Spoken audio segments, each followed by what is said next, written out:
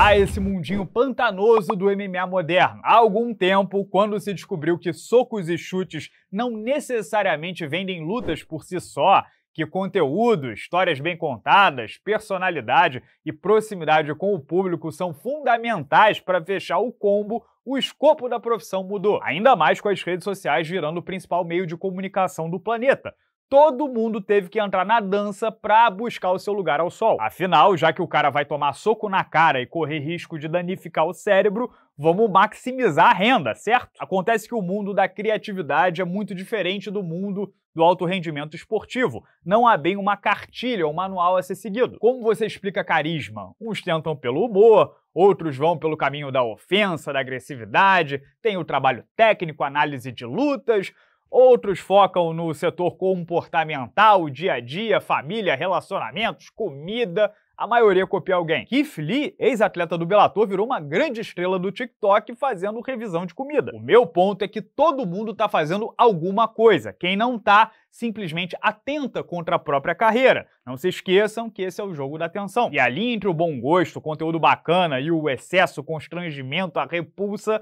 é das mais tênues, é meio tentativa e erro. Mas de novo, não há receita de bolo. Chance Strickland, por exemplo, se destacou expondo, sem medo de repercussão, as opiniões mais politicamente incorretas possíveis. E num mundo onde muita gente está de saco cheio da hipersensibilidade, o perfil ganhou tração. Detalhe, o fenômeno só é possível porque o presidente do UFC, Dana White, tem uma política de liberdade de expressão. Se fosse qualquer outro, Strickland poderia ter sido demitido há muito tempo. Agora, naturalmente, quanto mais você se expõe, mais vulnerável você fica a todo tipo de ataque e julgamento. Aí entra uma questão de estômago e temperamento. Se você é diferente da maioria dos humanos e suporta constante escrutínio e avacalhação, e dinheiro é mais importante que paz de espírito e privacidade, quanto mais exposição, melhor. A família mais famosa dos Estados Unidos é provavelmente a Kardashian, cuja mãe transformou a vida das filhas num reality show. Por lá, elas são igualmente amadas e odiadas, mas todo mundo conhece de core salteado seus relacionamentos,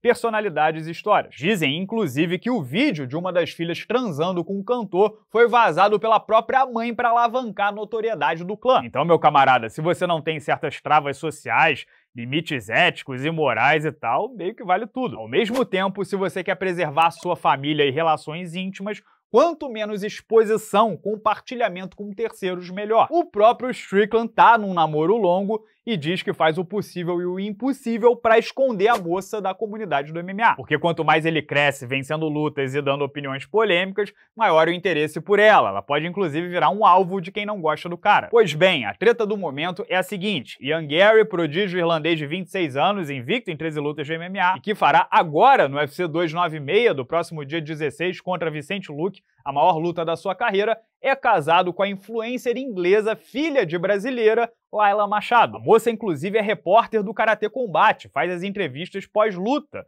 Já produziu conteúdo para o próprio UFC na Inglaterra e para o evento local Cage Warriors. Antes trabalhava com futebol, tem fotos lá no seu Instagram entrevistando o Neymar e o Kaká, por exemplo. Como a relação é bem exposta, eles produzem conteúdo juntos, afinal são profissionais de certo destaque, aquela galera que gosta de viver a vida alheia, e verdade seja dita, esse conteúdo é produzido exatamente para arrancar conteúdo desses, funciona como uma via de mão dupla, começou a notar certos comportamentos. Quando a Layla posta uma foto sensual, Gary é cobrado. O fato dela ter 40 anos e ele 26 também chamou atenção. Aí cavaram que em 2010 ela escreveu um audiolivro chamado How to Be a Wag, que em tradução livre seria algo do tipo como virar a esposa de um jogador de futebol ou de um atleta profissional. E na Inglaterra, o termo WAG não é simplesmente esposa de atleta, é algo extremamente pejorativo, tipo interesseira profissional. Também descobriram que o ex-marido da Layla, com quem ela tem um filho, é o nutricionista do Ian Gary, Mandaram até que todo mundo mora junto, informação que a Layla desmentiu. Gary também conta a risadas uma história de que estava com ela num elevador quando Hanzat Kimaev entrou com a esposa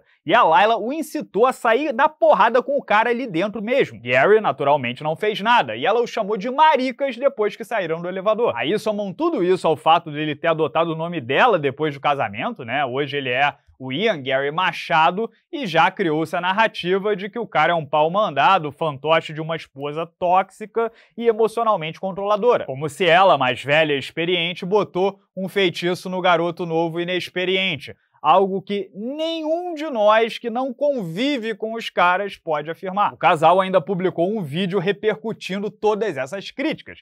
Vídeo, claro, que busca views. Gary, que está prestes a lutar, disse que não tem tempo para se preocupar com tudo isso. Laila então respondeu que vai chorar nos braços do ex-marido a proporção, claro, só aumentou. Chance Strickland, um cara que protege o seu relacionamento, mas mete o bedelho no dos outros, que não fazem a mesma coisa, compartilhou os seus dois centavos sobre a situação, Pessoal, nunca falo sobre a esposa de ninguém, mas isso não tá certo. Ela é uma sucubus. Você tem que fugir, cara. A gente te arruma dezenas de mulheres. Você tem que puxar a corda. Eu tô aqui para você, a comunidade do MMA tá do seu lado. Vejam, é o campeão do UFC e a reação dele reverberou em todos os sites e canais especializados. Detalhe, Sucubus é um demônio em forma feminina. Na sequência, Gary e Lila ameaçaram Strickland e outros produtores de conteúdo de processos legais. O campeão ficou puto e xingou o casal, as DMs vazaram e a bola de neve cresceu. Esse conteúdo é bom para a união entre os dois e, consequentemente, para o filho que tem juntos? Definitivamente não. Não há nada mais danoso e instável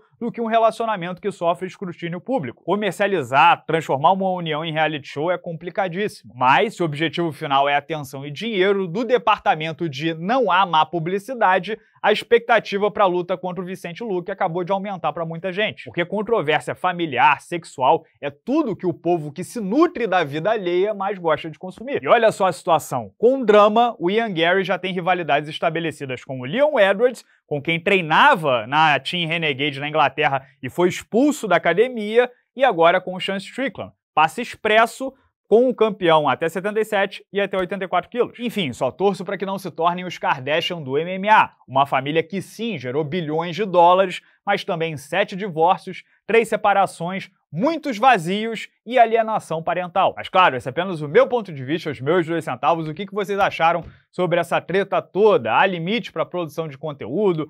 É melhor não misturar as coisas ou é da cabeça de todo mundo, de cada um, o que vale no final é o resultado? Qual é a sua opinião? Comente livremente aqui embaixo no vídeo, se inscrevam no canal para não perder nenhuma resenha. Não deixa esse, essa janela sem clicar no like, na mãozinha positiva, por favor, é a forma de você retribuir o nosso trabalho. Também não perde o podcast dessa semana, em que eu e Lucas Carrano fizemos uma prévia, analisamos o Fight Night do próximo sábado, que é o melhor Fight Night do ano e tá cheio, né? De cabo a rabo, tem lutas maravilhosas, vale a pena. Clica no link aqui do lado e confere. Grande abraço a todos, obrigado pela audiência de sempre e até amanhã.